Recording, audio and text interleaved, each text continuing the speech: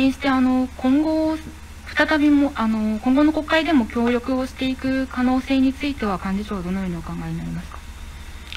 まあ、なるべく協力した方がいいと基本的には思います。ただまあもう選挙が近いということもあったのか、まあ、維新の代表がテレビ番組で言われたことは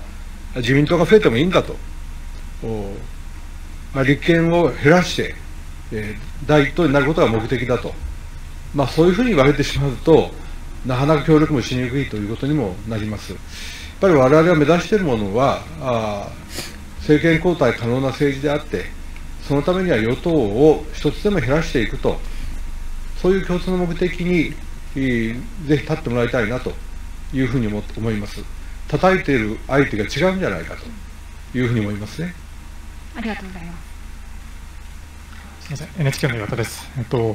立憲民主党内で、まあ、野党の一本化を求める動きに対して、あの国民民主党の玉木代表が、まそれについては、そのまあ、候補者、まあ、現職の人があの出ることを守るということで、既得権益を守っているだけではないかというふうで、まあ、否定的な考えを示されました。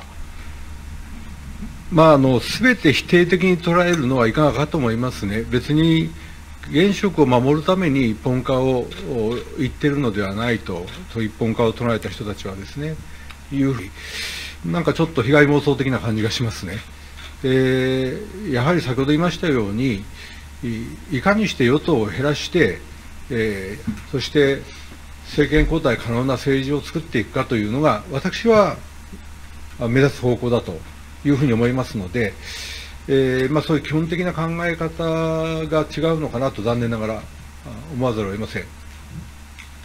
玉木代表の発言とか、私は国民民主党とは大きな塊を目指すべきだということは一貫して申し上げておりますし、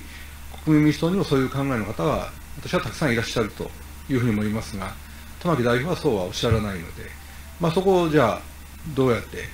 お互いすり合わせていくかという問題があります。まあ、維新も自民党が増えても立憲が減ればいいみたいな、まあ、そういうご発言もありますが、まあ、真意はよく分かりませんけれども、